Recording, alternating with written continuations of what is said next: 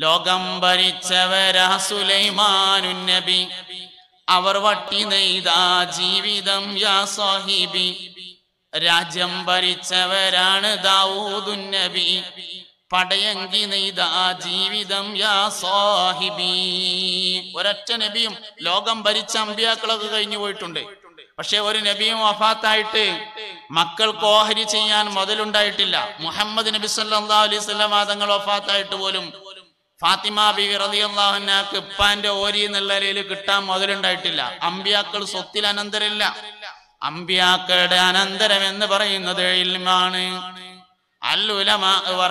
അംബിയ ആണ് ലക്ഷണമൊത്താലിമീങ്ങൾ ജിഫ്രി മുസ്തിക്കോയ തങ്ങൾ പറഞ്ഞു ആലിമീങ്ങളുടെ ലക്ഷണങ്ങൾ മാനവർകൾ ഇങ്ങനെ സംസാരത്തിന്റെ ഇടയിൽ ഇങ്ങനെ ഉൾപ്പെടുത്തി ഉൾപ്പെടുത്തി തിരുണവർക്ക് തിരുണ കോലത്തിൽ മഹാനവറുകൾ അത് വളരെ വിശദമായി പറഞ്ഞിട്ടുണ്ട്.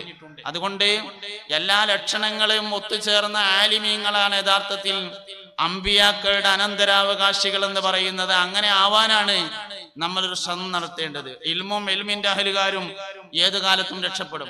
ഈ വഴിയിലേക്ക് ബന്ധപ്പെടുന്ന എല്ലാവരും രക്ഷപ്പെടും. ഞാൻ അല്പം തമാശ ചേർത്തിട്ട് പ്രസംഗിക്കുമ്പോ ഒരു കാര്യം പറയലുണ്ട്. ഈ ഷവ്വാൽ ആയി കഴിഞ്ഞാൽ ദർസുകളൊക്കെ തുറക്കണ സമയമാണ് അങ്ങനെ ദർസൊക്കെ തുറക്കണ സമയത്ത് പല സ്ഥലത്തേക്കും ക്ലാസ്സിന് വിളിക്കും. ദർസിനെ സപ്പോർട്ട് ചെയ്തിട്ടൊന്ന് രണ്ടു വാക്ക് പറയണം എന്ന് പറയും. അപ്പൊ ഞാനൊരു തമാശ കൂട്ടിയിട്ട് ഒരു കാര്യം പറയും. എസ് എസ് എൽ സി ഒക്കെ കഴിഞ്ഞിട്ട് നല്ല മാർക്കൊക്കെ കിട്ടി.